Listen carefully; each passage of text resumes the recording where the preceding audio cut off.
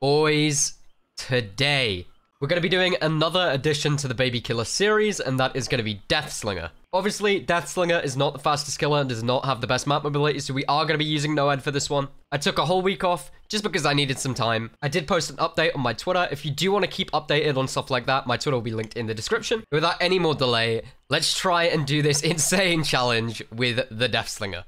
And I'm just doing what I like to do on every single time we play on Dead Dawg with a challenge like this, which is basically gut every strong loop on the map. Okay, they've got fair few gens off the board already. And I think I see a Jane over here. Yep, and a Jake. Straight away, I'm going to whiff on her. I don't know what she's doing. She's kind of giving me a free hit. But, uh, I'm going to miss my shot as well. Try and show them that I'm not too much of a threat at all. Trying to get a little bit lost there. Jane's just going to hold W, so that's fine. I'm going to whiff my shot once more. to be fair, she almost juked straight into that. I'm kind of worried. And Jane is just running this loop. There's been a few times now where I feel like the Jane's almost given me that free hit completely by accident, but that's fine. Carry on. Just missing my shots. Make it look like I have no idea what I'm doing whatsoever. And then the other three survivors basically should just see that I'm not too much of a threat. Just because I haven't got any tags or downs on the Jane. I've been chasing her this entire time. Here we go once more. Jane throwing out the wild jukes. Not wanting to drop Shack Pallet either, which means I'm going to have to act like I was juked, I guess. There we go. Learned our lesson. Down goes Shack Pallet. We'll take that out of the way. And if possible, we want to get rid of more pallets, so... I'm going to switch chase. Hopefully this survivor's more prone to actually throwing the pallet down. Perfect. Back on the Jane again. I'm going to swing really early. Again, almost running into me there, but not quite. And I think we're about to get our Noed, actually, so we got to be careful here. There we go. Perfect. And we know there are two people right here, so we're going to try our absolute best. We got the Feng and somebody over here who just vaulted. Probably both going to the same area, but I don't know for sure, of course. Good shot, okay. No way out triggered. That means that there's someone at the other gate. Things down. No infectious proc. Okay, we've got the double reload working in our favor there as well. There should be a survivor around here somewhere. There we go. There are the scratch marks to confirm what I was thinking. They managed to pick up the Jane. Oh, that's so annoying. I missed my shot. Okay, are they going to try and pick up the Feng or what are they doing? These guys are a little bit weird. There's one survivor which I just have no idea where they are at all. No one really trying to go for the gates. We did get a good gate spawn, but... I just don't know what these guys are doing. Uh, I think they're just being really stealthy. But Jake, I haven't seen him, I think, the entire game, really. I think I saw him once.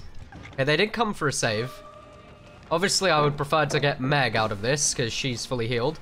I don't think I even need to use a bullet on this. We're close enough already.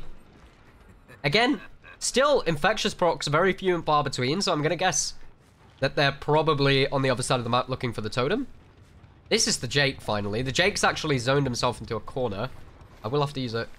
Jake is just holding W, okay? Normally you get a reaction when you scope in, but Jake is determined not to give us one. Okay, that's why we haven't seen many infectious procs. The Jake has Calm Spirit. Picked up the Meg, The Meg was over here somewhere. Yep, there she is. You gonna react to me scoping in? No, not enough. Okay, we're gonna down on the Meg again. Oh, and there is a survivor here, so... Got a little bit of a snowball here if I can hit my shot. Jane has juked me a few times, though. Nope, okay.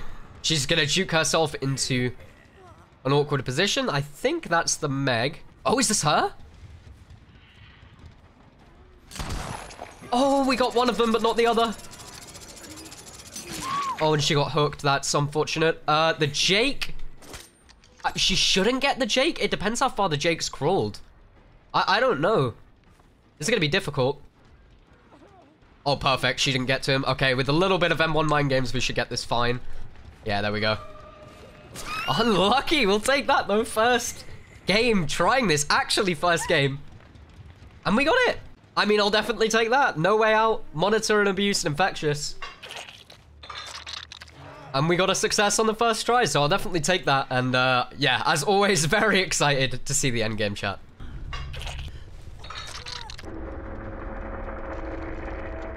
Okay, we actually had a pretty wholesome endgame chat. Just all they said was nice, GG well played, horrible map for totems, and I agreed, and on to the next one. Uh, actually, it doesn't take much recapping at all.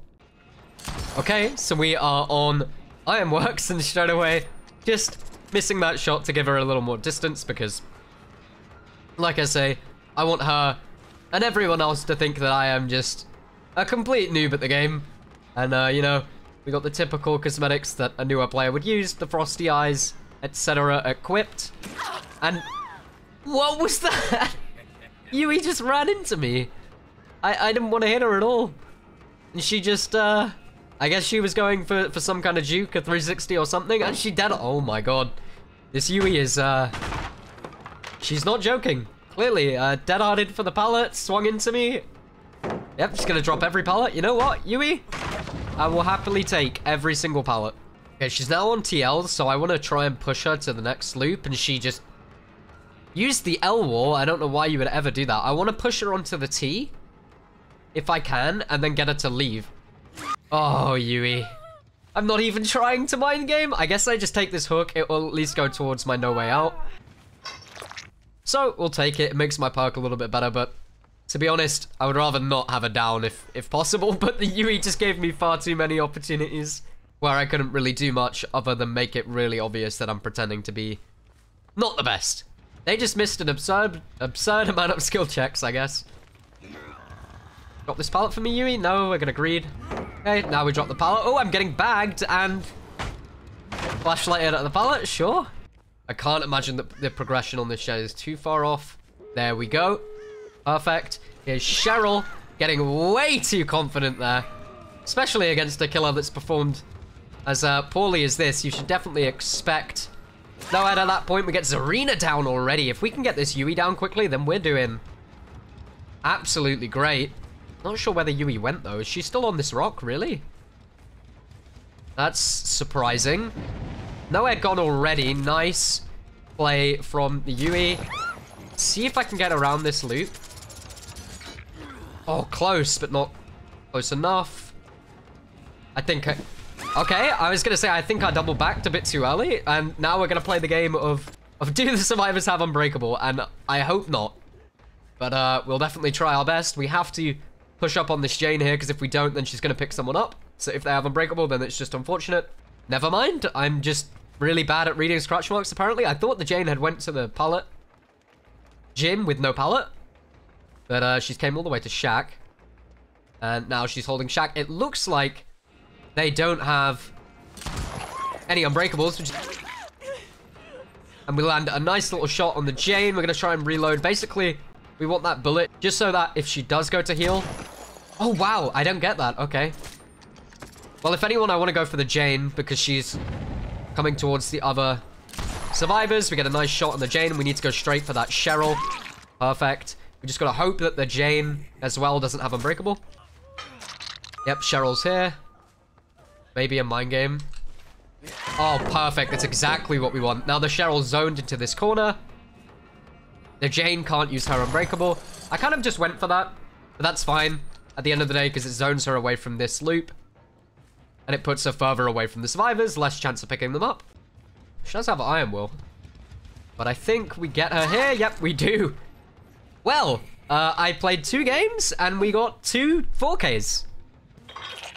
But his map pressure is just so bad that I thought this challenge would be a lot harder than what it was, but I'll definitely take it. Them being way overconfident as the last gen pop definitely helped me out a lot. And what as and as always, very excited to see this endgame chat.